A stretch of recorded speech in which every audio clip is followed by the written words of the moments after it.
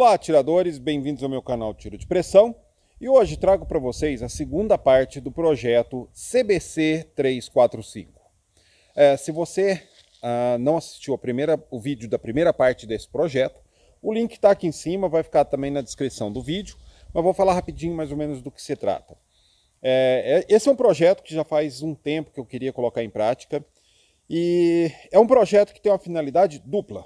Primeira finalidade, mostrar para vocês como se dá a restauração de uma carabina de pressão antiga do começo ao fim. É, é uma carabina que está num estado, vamos dizer assim, não funcional para o tiro de pressão é, e deixá-la pronta para uma prova de papel 10 metros. E segunda função, alertar vocês para uh, os cuidados que se tem de tomar quando se compra uma carabina de pressão. Quanto mais antiga a carabina de pressão, mais cuidado. Mas mesmo carabinas mais novas é preciso saber é, ter cuidado na hora da compra, porque você nunca sabe se você vai ter que gastar uma grana que você não esperava para poder deixar ela totalmente funcional para o seu tiro de pressão. Então, é, eu comprei recentemente uma carabina de pressão, uma famosa, uma legendária CBC Expresso 345 calibre 4,5. Essa carabina ela foi fabricada entre final dos anos 80 começo dos anos 90 e ela se tornou legendária entre os atiradores de pressão porque ela foi muito famosa e ainda hoje é considerada a carabina de pressão mais precisa para a prática de papel 10 metros já fabricada no Brasil. É uma carabina que tinha uma inspiração olímpica, ela trazia uma inspiração nas carabinas de mola utilizadas em provas de papel de 10 metros da época, e ela era muito precisa. Elas ainda são, porque muita gente ainda utiliza a CBC 345 ou a versão anterior, a CBC 245, em provas de papel 10 metros pelo Brasil afora e fazem pontuações incríveis. É, são carabinas que rivalizam, por exemplo, com as famosas Slavia e HW30 para essa modalidade de tiro esportivo. Pois bem, comprei essa carabina. Ah, nas fotos, quando eu comprei, ela veio do Rio de Janeiro. Ela parecia bem conservada. A pessoa que estava me vendendo falou: Olha, eu não entendo nada disso, eu recebi como herança, mas está funcionando. Eu, eu, eu armo disparo, ela funciona. E comprei ela dessa forma. Quando chegou para mim, eu verifiquei que a beleza dela era aparente, porque, por exemplo, ela já tinha sido pintada de preto, não tinha a, a, a, a oxidação original de fábrica. Se existia, estava coberta por uma pintura preta, uh, mas foi um tipo uma, entre muitas aspas, restauração dessa coronha que foi bem feita. A pintura preta era de boa qualidade, uma pintura bem feita, a coronha havia, havia sido invernizada, visualmente ela realmente estava bonita. Então, me passa a ideia de quem foi dono dela tinha um apreço muito grande por essa carabina. E quando ela chegou numa certa idade, a pessoa resolveu fazer uma restauração visual para deixar ela para display, ou seja, não era mais uma carabina de utilização, mas ela tinha uma, um valor sentimental para o ex-dono dela e ele mandou fazer essa restauração visual para ela continuar com um aspecto bonito. Ah, aí, beleza, ela chegou, aí eu verifiquei isso, então, visualmente ela estava bonita, mas o bonito dela era aparente. É, eu fui é, disparar, fraquíssima. A cronografagem dela deu uma velocidade de disparo ridícula. Até vou mostrar para vocês a velocidade de disparo dela. Ou seja, a, a mola dela não estava legal mais. Eu não sabia como ela estava por dentro.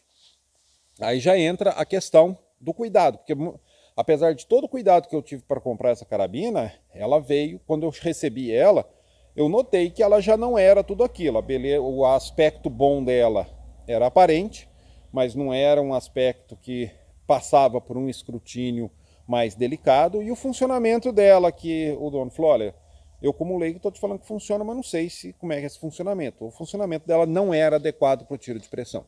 Aí olha os cuidados que você tem de comprar, de é, ter na hora de comprar uma carabina de pressão usada, porque muitas vezes a, a pessoa que está te vendendo, ela nem muitas vezes a pessoa não tem má fé, mas ela não conhece, ela é leiga e ela te fala o que ela está vendo.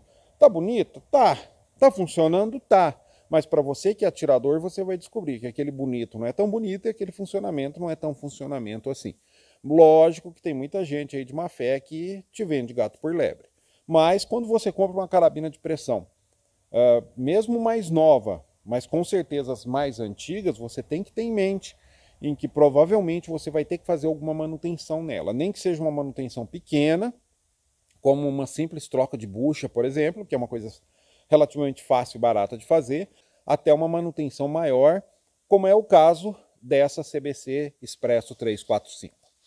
Pois bem, uh, recebida a carabina, eu fiz uma inspeção visual externa dela e todos os componentes externos estavam lá. Uh, e isso é muito importante, principalmente numa carabina antiga. Por quê? Porque quanto mais antiga a carabina, mais difícil é de você conseguir pequenos componentes. Pequenos acessórios, uma soleira de uma coronha, uma alça de mira, um parafuso adequado, vão ficando difíceis de conseguir e caros. Dependendo da carabina, por exemplo, uma Feinwerk Bau, uma HW, uma Diana, você até tem até a opção de comprar isso no exterior. Para essas carabinas europeias, existem lojas na Europa em que você compra qualquer parafuso, qualquer arruelinha, mas só que é caro e é demorado. É, e no Brasil, no caso dessas CBCs, é complicado você conseguir esses acessórios. Muitas vezes você tem que fazer adaptações, o que já tira a originalidade da carabina. Mas beleza, ela estava tá, tava lá toda bonitinha, toda certinha. E eu falei, primeira coisa, antes de mandar para o Marcos Grandini para ele fazer o desmonte dela e a verificação interna, eu vou já me dar o trabalho de pegar e retirar toda essa pintura preta dela aqui. Quando eu fui verificar é, a, os parafusos da coronha, eu verifiquei que os parafusos, gente, eles eram originais. Então, quem fez aquela uh, restauração parcial dela não tirou a coronha, a pessoa fez a pintura e fez o invernizamento da, da, da, da coronha sem soltar a ferragem da montagem, que é a parte toda de madeira, sendo coronha só a ponta ali da montagem onde vai no ombro. Então, é, toda aquela peça chama montagem. Então ele, a pessoa não soltou a ferragem da montagem, mesmo assim, assim fez um trabalho bem feito. Foi um trabalho cuidadoso. Então eu tirei, retirei com cuidado os parafusos uh, e pude ver que uh, realmente a oxidação de fábrica estava bem judiada por baixo. Aí, meu, foi estopa e quase um litro de thinner para tirar toda aquela tinta preta. Deu um trabalhinho, foi uma manhã ali retirando aquela tinta preta, mas real, no final a, eu consegui retirar toda aquela tinta preta. Mais, uh, mais para o final desse vídeo eu vou mostrar um slide show para vocês para mostrar como ela ficou após a retirada da tinta e também quando o Grandini fez o desmonte dela. Então ela, belezinha, retirada aquilo ali, aquela tinta preta para poupar o Grandini desse trabalho chato. Eu fui para São Paulo, o Grandini é de São Paulo também levei e deixei na casa do Grandini. Então, já passei para ele, que externamente lá estava legal e tudo, aí ficou por parte do Grandini. O Grandini tirou um dia e desmontou ela completamente, mas desmontou até o último pino, até o último parafuso. E o interessante que o Grandini verificou é que internamente, gente, ela ainda estava toda original. Ou seja, essa carabina nunca tinha sido desmontada é uma coisa muito interessante, ainda mais por uma carabina histórica dessa, é uma coisa rara de acontecer. E o que, que o Grandini encontrou dentro dela? Ele encontrou muita graxa seca, graxa velha, seca, que ele retirou tudo isso, fez uma limpeza completa.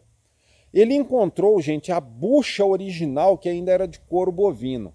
Porque antigamente ainda não se usava bucha de material sintético como é o PU hoje, que é um tipo de plástico emborrachado mais adequado para isso. Antigamente se usava uma bucha feita de couro de boi que dava o formato de bucha e ele fazia essa função.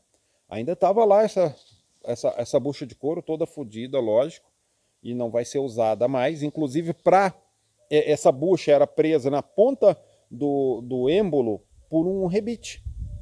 Inclusive, o, o Grandini vai ter que fazer um trabalho de usinagem na ponta desse êmbolo para poder instalar com um parafuso a bucha de PU da Quickshot, que a Quickshot mandou junto com um gas ram para ela, para essa 345. Ele também verificou que a mola, gente, era original. A mola, vocês vão ver daqui a pouquinho, já estava toda deformada, já estava toda ferrada.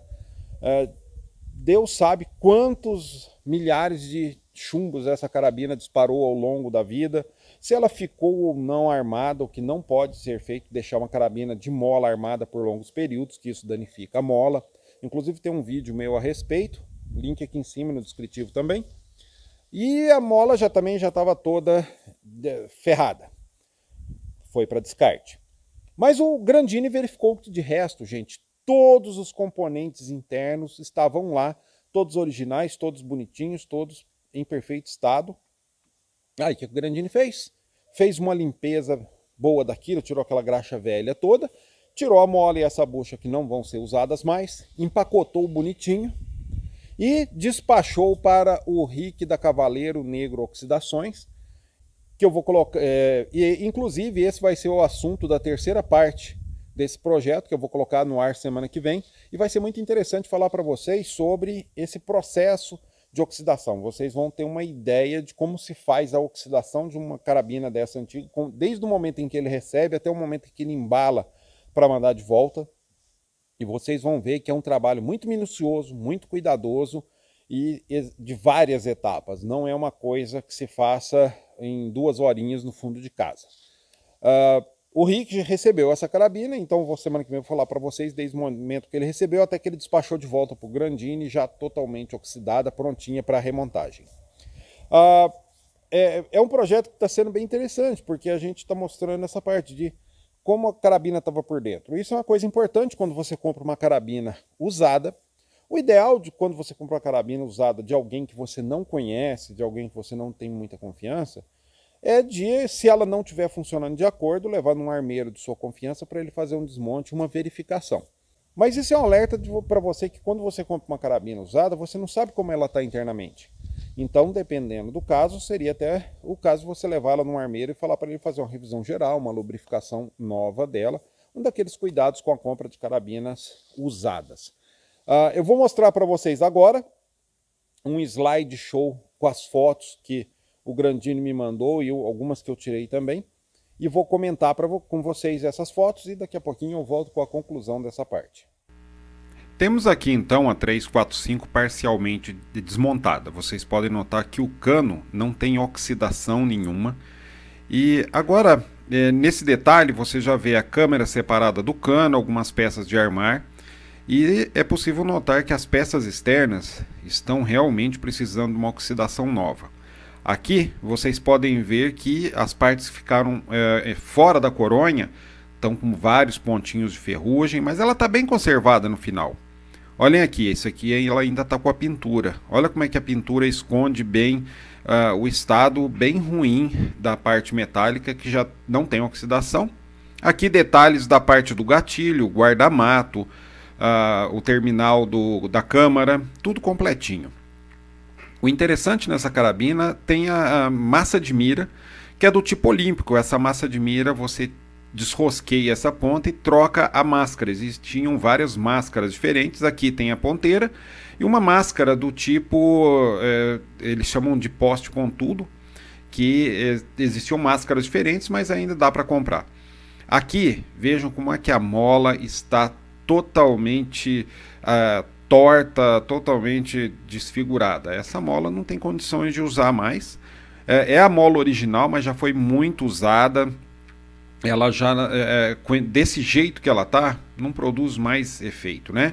Aqui a graxa velha que eu falei para vocês, vocês podem ver que a graxa misturada com poeira e com o tempo ela ressecou, ou seja, ela já não fazia mais a função de lubrificação. Aqui um detalhe da bucha de couro, gente. Olha que interessante. Antigamente se usava essas buchas de couro que elas ficavam é, no, na, junto com a graxa, com a lubrificação e davam uma vedação. Aqui ela desmontada, então existia uma, o pino aqui, o rebite, a bucha de couro e as peças que mantinham ela no lugar. Feito toda a limpeza e desmonte, o Grandini deixou ela preparadinha para enviar para o Rick, que agora essas peças vão passar por uma oxidação top e vão voltar como novas. Como vocês viram, essa carabina estava implorando por uma restauração bem feita. Apesar da boa vontade do dono anterior, a restauração que ele fez foi muito parcial, muito superficial e apenas visual, Mas agora ela está recebendo o que ela merece. Essa velha guerreira vai voltar a tirar super bem no papel 10 metros e está recebendo uma restauração muito bem feita, como se deve. Fiquem de olho, se vocês têm alguma dúvida a respeito do que eu falei nesse vídeo, deixa aqui nos comentários, comente aqui também se você o que, que você achou, se você já comprou uma carabina usada ou antiga e quando abriu descobriu alguma coisa estranha dentro dela. O, é, vamos trocar uma ideia a respeito desse assunto, vai ser muito legal. É, fiquem de olho que semana que vem é, eu vou postar a terceira parte desse projeto, onde vou falar muito legal, um assunto muito legal, vai ser uma parte muito legal, onde vou falar da oxidação. Uh, conversei um, bati um papo muito longo com o Rick, muito legal, sobre esse assunto, e vocês vão aprender bastante coisa a respeito disso. Isso não é só para quem tem carabina antiga, para todo mundo, que pode ter certeza que uma hora ou outra talvez você precise é, do auxílio de um profissional como o Rick para refazer ou corrigir a oxidação da sua amada carabina de pressão. Fiquem de olho. E também fiquem de olho no canal, se você ainda não é inscrito, se inscreva, que toda semana tem é, vários vídeos novos aqui a respeito de tiro de pressão, sempre práticos e interessantes, tá ok? Até a próxima e tchau, tchau.